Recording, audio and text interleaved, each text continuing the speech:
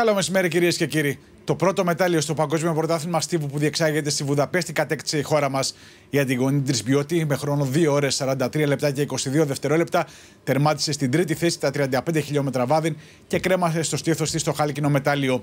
Είναι η πρώτη φορά που η Τρισμπιώτη ανεβαίνει στο βάθρος σε Παγκόσμιο Πρωτάθλημα, ενώ είναι το τρίτο μετάλλιο που κατακτά σε μεγάλη διοργάνωση μετά τα δύο χρυσά που είχε πανηγυρίσει στο Ευρωπαϊκό Πρωτάθλημα πέρσι στο Μόναχο. Μετάλλιο διεκδικεί και ο Μιλτος Εντόγλου στον απόψινό τελικό του μήκους.